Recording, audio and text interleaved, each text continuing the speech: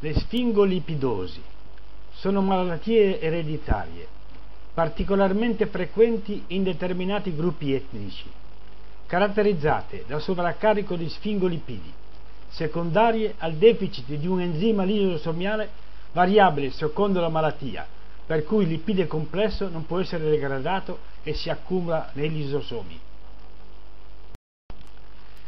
Gli sfingolipidi sono composti lipidici aventi in comune una amina primaria, la sfingosina. L'unione della sfingosina con un acido grasso dà una ceramide.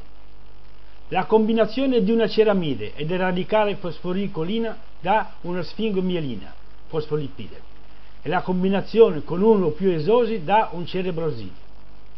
L'esterificazione con acido solforico con un cerebroside dà un sulfatide la combinazione di uno o più esosi di un cerebroside con acido sialico dà un ganglioside.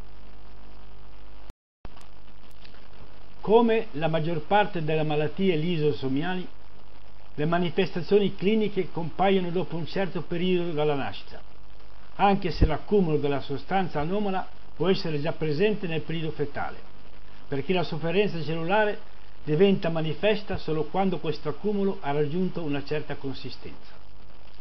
Di ciascuna malattia si conoscono più varianti, con forme ad inizio precoce ed evoluzione rapida e forme ad inizio più tardivo e decorso prolungato.